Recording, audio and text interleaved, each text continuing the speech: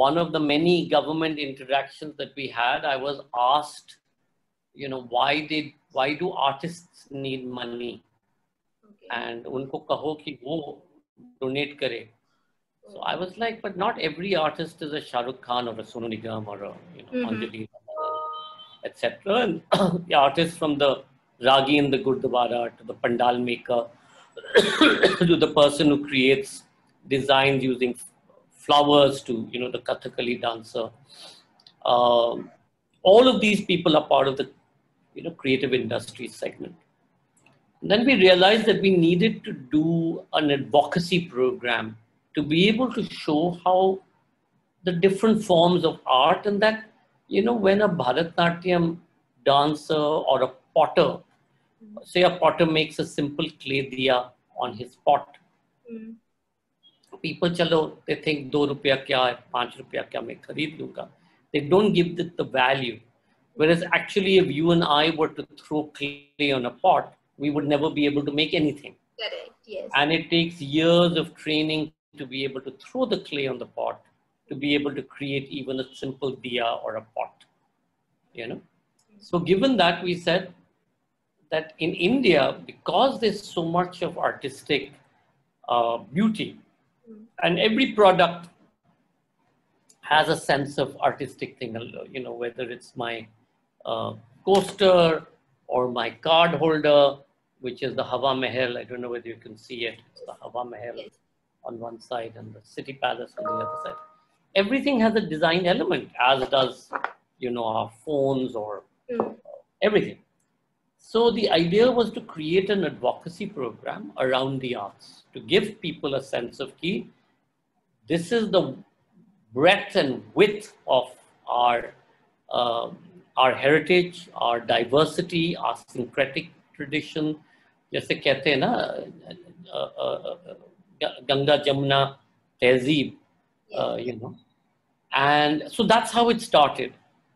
And as you know, once the lockdown started, you know, the ecosystem, the arts ecosystem was completely destroyed Mm. because we forget that it's not just about the dancer or the craftsperson, it's the ecosystem. So NCPA did a survey recently where they found that to get one person on stage, so a singer or a dancer or a theater person, one person on stage, there's a 33 people ecosystem at an average. The janitor in the bathroom, the person who'll open the hall, jo clean karta hai, you know, the usher, the lighting designer, the sound fellow, the person who switch on the light, the electrician, the plumber, the website that generates the tickets. And all of these people have lost their way of being able to earn. Then you have traditional artists, you have the visual artists who, or you know, the hunners or the, the, the, folks working in pottery or textiles. Because the supply chain had, had disappeared and there was no, and the lockdown happened, so nobody was picking up, uh, uh, you know, stuff. And artisans uh, had crores of inventory Mm. and no way to be able to sell it. And as, as you know, Komal, artists and artisans have no access to bank loans, um, you know, overdraft facilities, regular salaries, grants, nothing, zero. So unlike the rest of the sector, which at least there was some sort of a cushion, this sector has none. So therefore, our thing was that how can we help? You know, so Art Matter started. So our first, we ran a whole series of advocacy videos, etc., etc., Mm. across the visual, uh, performing, and traditional uh, arts and crafts.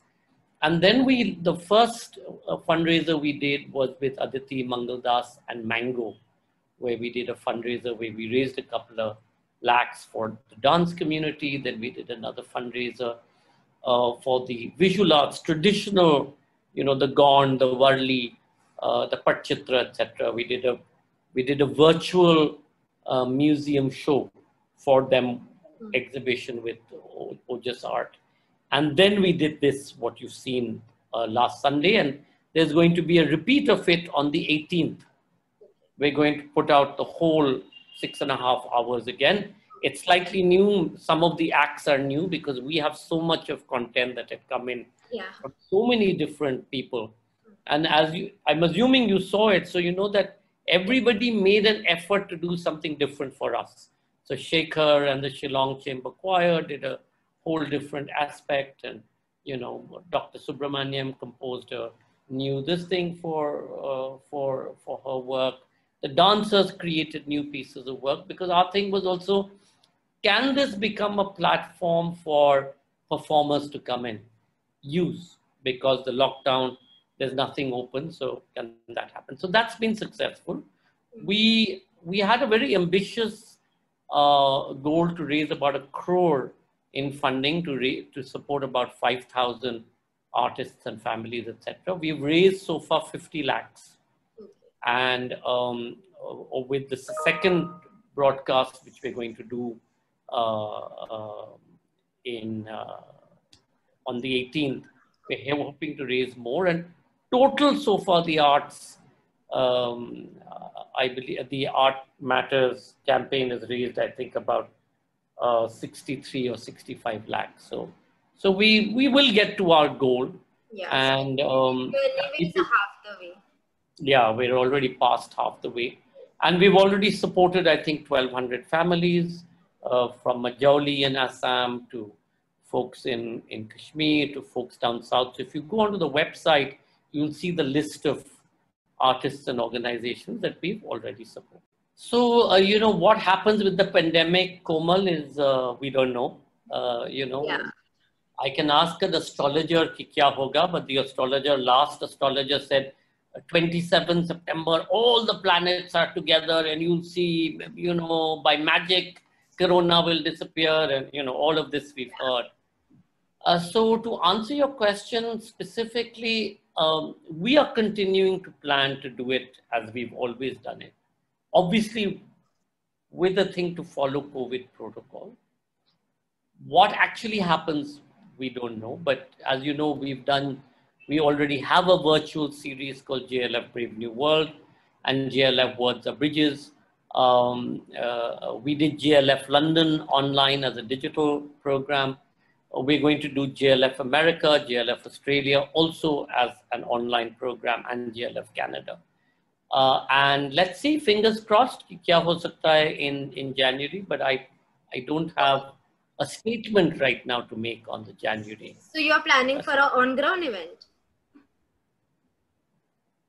It'll always be a combination of both because now there's, you know, i will give you an example, Komal, even with our uh, Meta Theatre Festival that we did Mm. um, did digitally some weeks ago. So, Mm.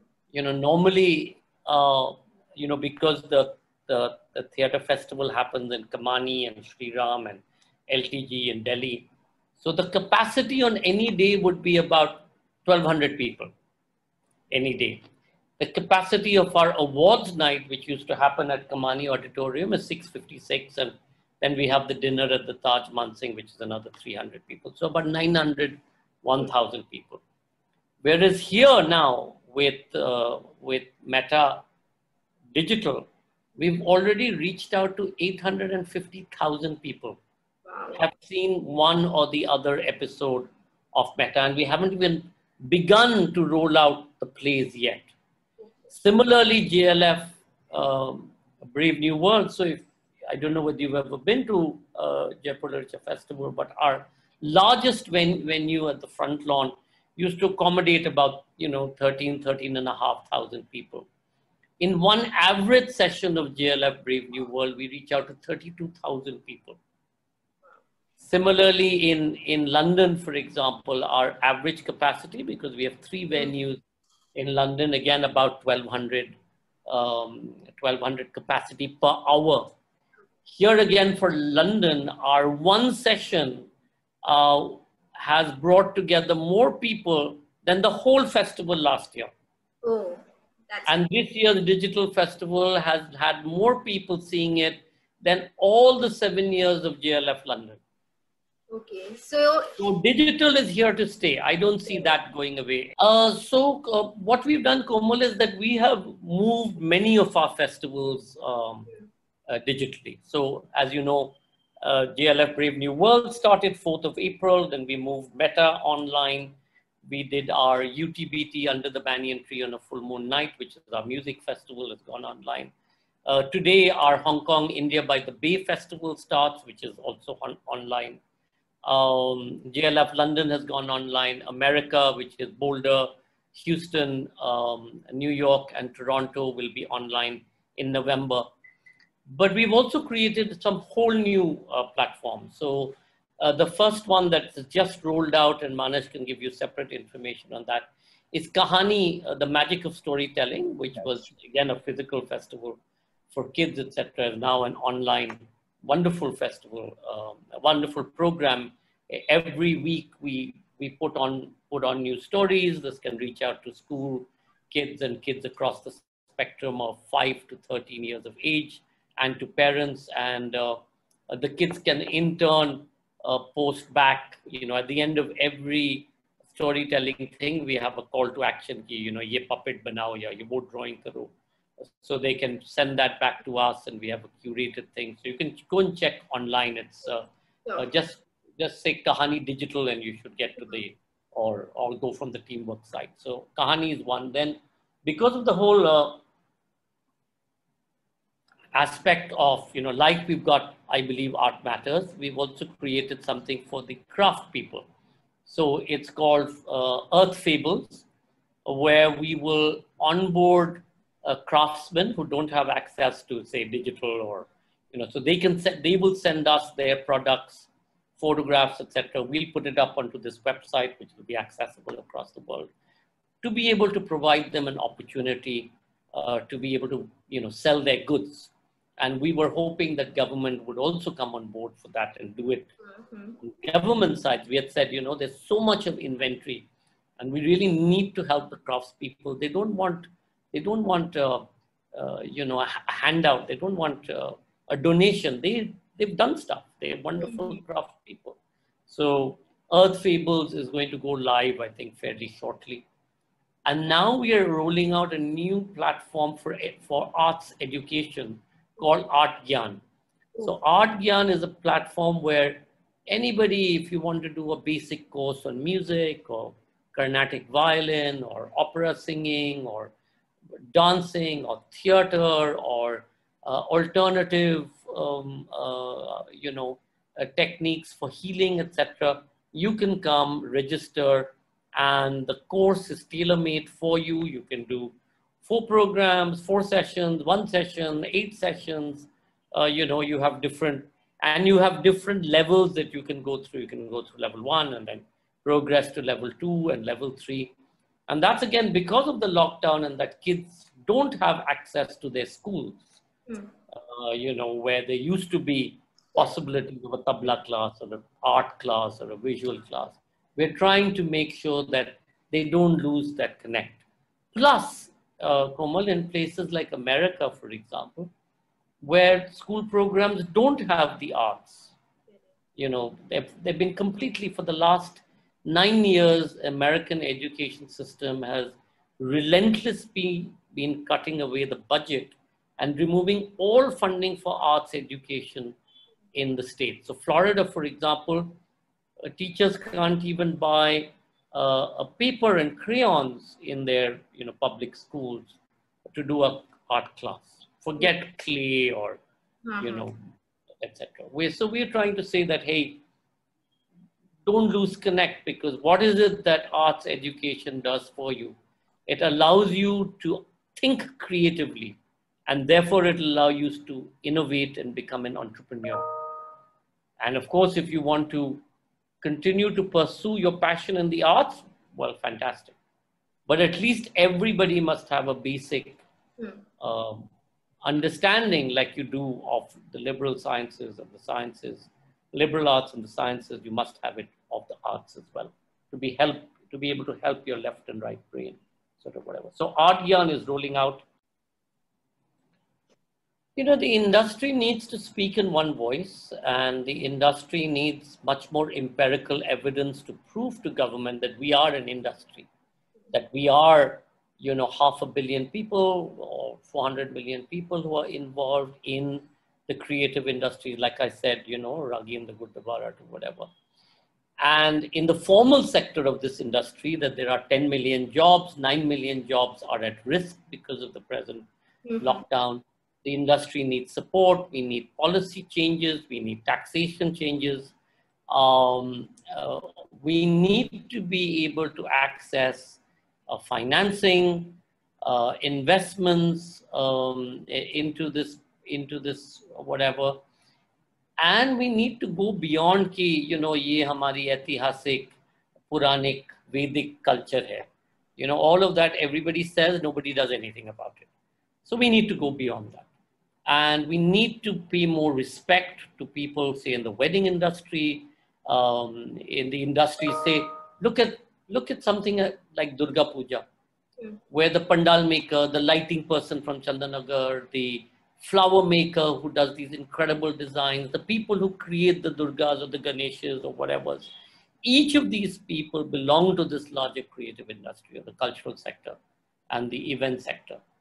And by and and in Bengal, for example, uh, the the Durga Puja is the single largest contributor to Bengal's economy. Not industry, it's this single largest in one month.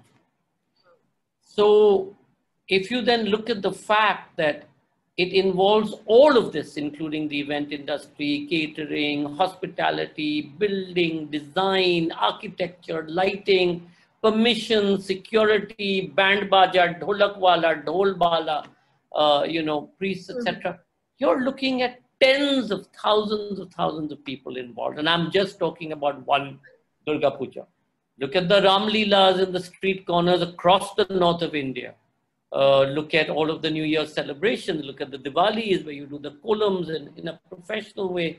Uh, and going back to the weddings, look at the entire wedding thing, the Mehendi Wali to. Uh, you know, the again, the Dholwala, the musicians, the artists, the stage people, the decorators. It's, it's huge. And we're talking about uh, uh, uh, an, an, an industry that is worth billions, you know. So we need government to look at this seriously. Um, the creative industries come under eight different ministries in the government of India. So HRD will look after publishing and printing. MEA has ICCR under it. Uh, INB has events. Then there is, of course, handlooms and handicrafts, women and child, uh, MSME. So we cover this entire thing. Mm. So, like I said to the uh, in one of the standing committee meetings with INB, that we are nobody's baby. Mm. Na ghar ka, na ghat ka. We are a stepchild You know, and we fall between the cracks. So we are demanding कि लोग please देखिएगा हमारे तरफ look at the needs etc. We contribute to the economy, we create jobs. So why are we being discriminated against? You know, that's the most important.